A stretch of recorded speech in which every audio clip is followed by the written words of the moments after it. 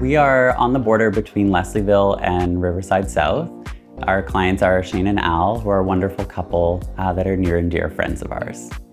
Funny story is they actually came to our housewarming when we bought our place about four years ago and saw it after we had done our sort of phase one of our reno. And, you know, as a good host, we went over to make sure everything was okay. And they were actually like, no, no, we're great. We're actually admiring your place and we really want you to design ours. So it was very humbling and exciting also to have someone who wanted more or less my style, but with their personality and some of their own touches to it.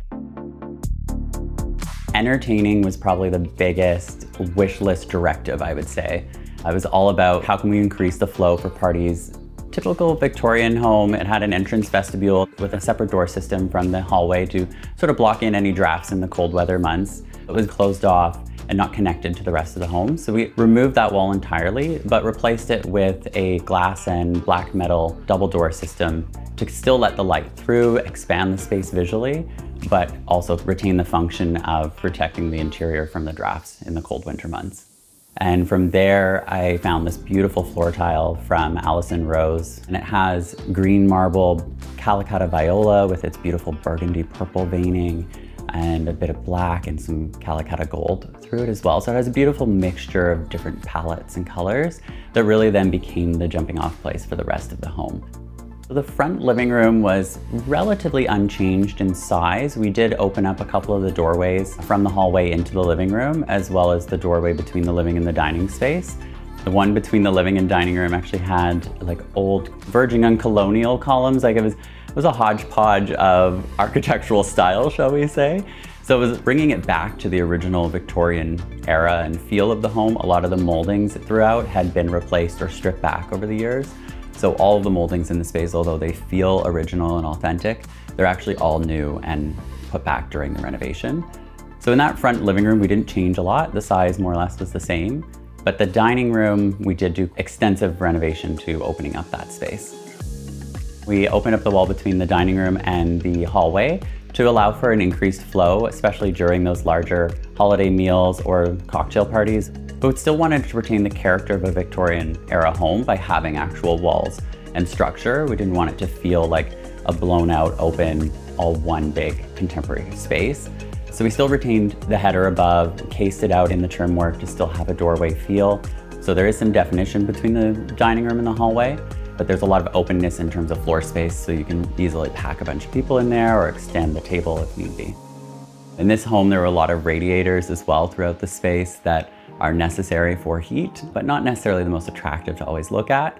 So we did a lot of built-ins in the living, dining to conceal the radiators.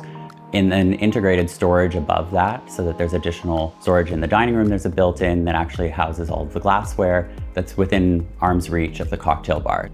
The cocktail bar under the stairs used to actually be the entrance to the basement. When the clients purchased the home, the basement was converted to a rental apartment so there is no need to access the basement from the main floor.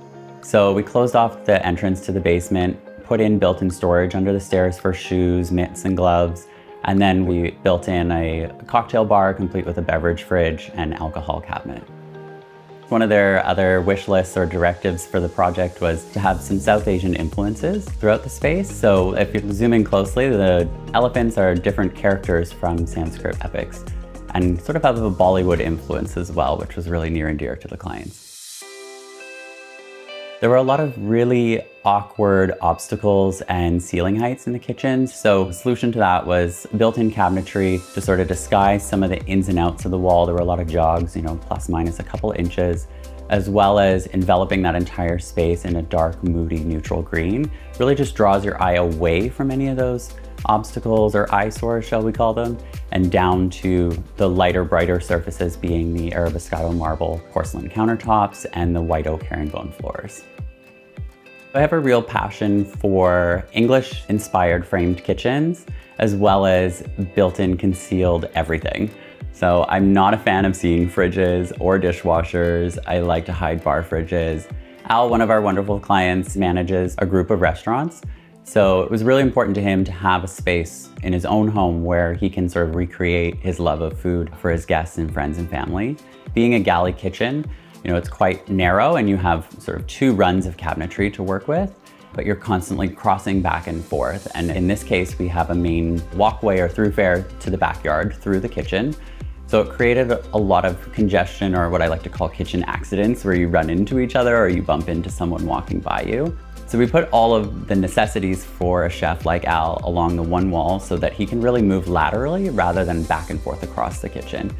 So it increases his workflow and function and also minimizes any of those bumps or accidents that can happen. The powder room before was a three-piece bathroom. It had a clawfoot tub, as well as a pedestal sink and a toilet, all in a space of about five feet by five feet. So the size of most people's powder rooms, we had almost a full bathroom. Not necessary on the main floor. So first thing we did was remove the tub and convert it to a proper powder room with two piece. We did a floating lilac marble vanity that's reminiscent of the jacaranda tree with its beautiful dark veining and soft lilac hues into the stone and did a Nero Marquina tumbled marble that has this sort of reminiscent history there where it feels like it's something that could have been in the house long before, as well as the wallpaper in there, again, bringing through the South Asian influences with this beautiful dramatic peacock wallpaper that symbolizes the national bird of India. On the second floor, we have an office that was previously actually a four-piece bathroom and the office space was what is currently now the spa bathroom. So we did a bit of a flip there where we brought the office to the back of the house where there's more natural light, has the terrace, air client shading. Often we'll have Zoom meetings or in-person client meetings, so we wanted to give him a space that could double for both. So he has a beautiful Zoom background behind him with the deep dark blue walls, as well as the outdoor space and a couple of chairs for visitors if he does have meetings in person in the office. The bar. I mean, what office is complete without a bar? and again, back to my love of built-in millwork to hide and organize everything in your life. We have, again, another radiator in this beautiful old home. We did a full built-in floor to ceiling to not only conceal the radiator, but also give us a bit of storage for a concealed cocktail bar and coffee bar. So at the end of the day, whatever your bevy is of choice, there's something in there for you. The spa bathroom, the clients wanted to have the steam shower and a separate freestanding tub. So we took over actually the closet that belongs to the room that we're sitting in here, which is the TV lounge, and added that space to the spa bathroom to allow us to have that freestanding tub in the middle. Unlike the rest of the house, the color palette in there is a lot more soothing and calm. We went for a beautiful sort of taupey gray hue from Farrow & Ball called Worsted, which gives just a soft, serene feel to that space. And then we amped it up with a bit of color. The beautiful lady portrait hanging above the tub was actually in the client's dining room when we first saw the space. And as soon as I saw it, I knew that that piece was meant to be in the spa bath, sort of front and center over the tub. And it was the lady of the house, shall we say. We're sitting here in the TV lounge. This room didn't change a lot in terms of size of the space, but the orientation changed quite a bit. Previously, the sofa was in front of the window. The room is more rectangular and long and narrow. So the sofa being in the middle of the long wall felt very tight and sort of cramped in here. So we went with the shape of the room and went with that elongating feeling of putting the TV on the shorter wall and the couch opposite it with this beautiful palace mural behind me, reminiscent of, again, an Indian palace uh, to bring in the South Asian influences. I'm not opposed to white or light spaces, but I definitely am someone who appreciates and yearns for drama and boldness. So, you know, whether that be through a black and white space that's very high in contrast, or a space that's very sophisticated with its use of colors.